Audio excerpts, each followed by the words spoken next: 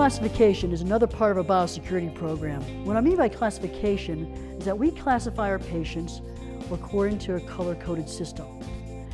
And there's four different color codes, everything from green, that is at low risk of spreading an infectious disease, to a code red, which means they do have an infectious disease and is at high risk of potentially spreading that disease amongst our patients. So as you can see right here, this animal, we talk about the color codes, go from green, yellow, orange, and red. We track this now on the stall with a certain color-coded system, which right here, this yellow sticker, means this animal is at moderate risk of obtaining a disease because how sick she is, she's immunocompromised, she's pregnant. At the same time, she has moderate risk of potentially spreading a disease because she's so sick that she could potentially spread salmonella.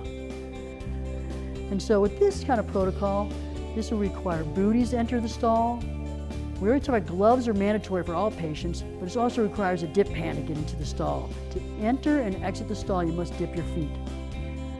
And the code orange will require a gown, and the code red requires you to go to isolation facility, which is a separate aspect of our hospital that we have an isolation facility that high-risk patients or patients that are known to have an infectious disease will have to go to so we can isolate them from the rest of the hospital community so they won't get so your patient does not get sick.